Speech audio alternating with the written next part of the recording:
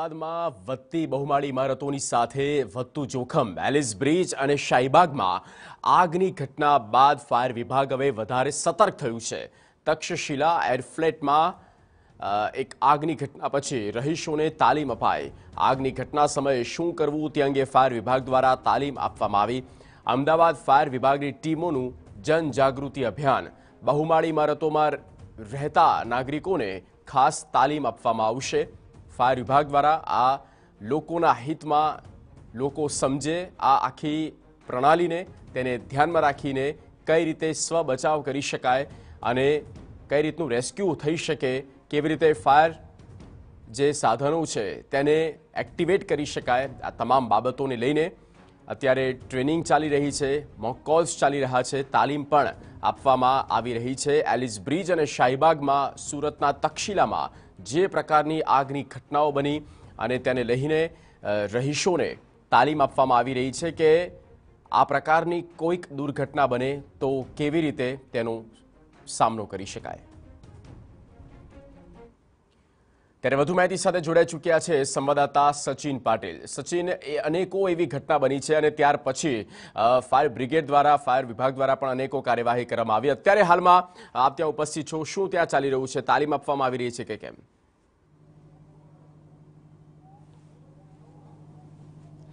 જગદીશ, સૌથી પહેલાં તો હું આ ઇમારત તમને બતાવવા માંગીશ. આ જે ઇમારત છે બાવીસ માળની અને આ તક્ષશિલા એર, જે ટ્વિન ટાવર છે અને સૌથી ઊંચી ઇમારત છે અમદાવાદની, અને આ ઇમારતમાં બારમા ફ્લોર ઉપર જ્યારે આગ લાગી હતી, એ આગ લાગ્યા બાદ જે રીતે હાઈરાઇઝ બિલ્ડિંગ્સ જે છે એ ઊભી થઈ રહી છે અને બની રહી છે, એટલી જ માત્રામાં હાઈ રિસ્ક પણ જે છે એ ત્યાં રહેતા લોકો માટે ઊભું થાય છે. અને એમાં આપ જુઓ અત્યારે તો અહીંયા જે ફાયર ડિપાર્ટમેન્ટ છે ફાયર ડિપાર્ટમેન્ટ દ્વારા સ્થાનિક જે રહેવાસીઓ છે, એમને બેસિક જે ટ્રેનિંગ છે ટ્રેનિંગ આપવામાં આવી રહી છે કે જે આગની ઘટના બને તો કયા પ્રકારે કઈ કઈ બાબતોનું ધ્યાન રાખવું. એમાં ફાયર એક્સટિંગ્વિશરના યુઝથી માંડીને જે અલગ અલગ નાની નાની બાબતો છે, જે બાબતો ધ્યાનમાં રાખવાની જરૂર છે, ત્યારે એ બાબતોને લઈને અહીંયા જે સ્થાનિકો છે, રહેવાસીઓ છે, એમને સૂચિત કરવામાં આવી રહ્યા છે. આપણે જોઈ રહ્યા છીએ, ડેવલપમેન્ટ થાય છે અમદાવાદનો વિસ્તાર થાય છે.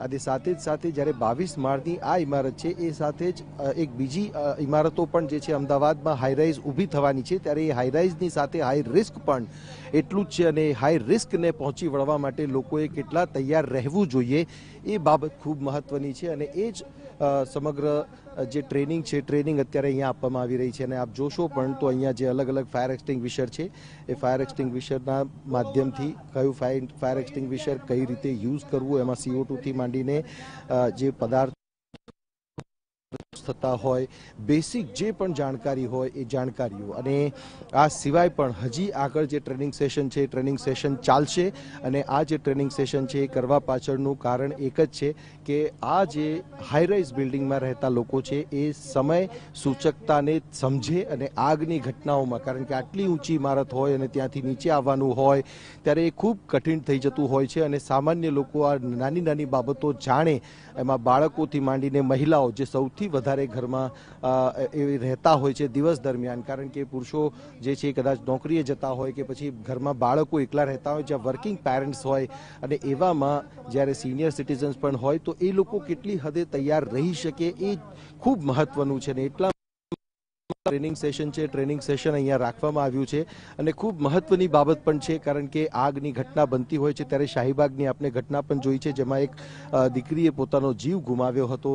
ત્યારે આ જે સમગ્ર આગની ઘટનાઓ હોય છે ઘટનાઓ માટે એક અભિયાન અને એક કેમ્પેન જે એક અવેરનેસ કેમ્પેન જે છે, એક પ્રકારે ફાયર ડિપાર્ટમેન્ટની ટીમ દ્વારા શરૂ કરવામાં આવ્યું છે અલગ અલગ વિસ્તારોમાં. આજે પણ અલગ અલગ જગ્યાઓ પર છે, પરંતુ ખાસ આ જે તક્ષશિલા એર અપાર્ટમેન્ટ છે, જે ટ્વિન ટાવર છે. ટ્વિન ટાવરની અંદરની આ જે ટ્રેનિંગ છે, એ ટ્રેનિંગ ખૂબ મહત્વની બની જાય છે. જ્યારે આપણે આધુનિકતા તરફ આગળ વધી રહ્યા હોય અને બિલ્ડિંગ જે છે, એ ઊંચાઈઓ પર આગળ જતી હોય અને જ્યારે એક બિલ્ડિંગ બીજી જ્યારે અમદાવાદ શહેરમાં બનવાની છે, લગભગ પચાસ માળ સુધીની, ઓગણપચાસ માળ સુધીની બનવાની બનવા જઈ રહી છે, ત્યારે આ હાઈ રાઇઝ સાથે હાઈ રિસ્ક પણ એટલું જ છે. ત્યારે એને પહોંચી વળવા માટે લોકો પણ એટલા સક્ષમ હોવા જરૂરી છે, કારણ કે ફાયર ડિપાર્ટમેન્ટની ટીમ તો ત્યાં પહોંચશે જ. કદાચિત રેસ્ક્યુ કરવાનું થશે તો રેસ્ક્યુ પણ કરશે, પરંતુ ત્યાં સુધીમાં આગને વધતી અટકાવી શકાય એ માટેની એક પ્રાથમિક જે ટ્રેનિંગ છે ટ્રેનિંગ લોકોને અત્યારે આપવામાં આવી રહી છે. જગદીશ. માહિતી આપવા માટે તો હાઈરાઇઝ બિલ્ડિંગ અને ત્યાં આ પ્રકારનું રિસ્ક પણ વધારે રહેતું હોય છે ને તેવા સમય પર શું કરવું જોઈએ તેને લઈને તાલીમ પણ આપવામાં આવી રહી છે.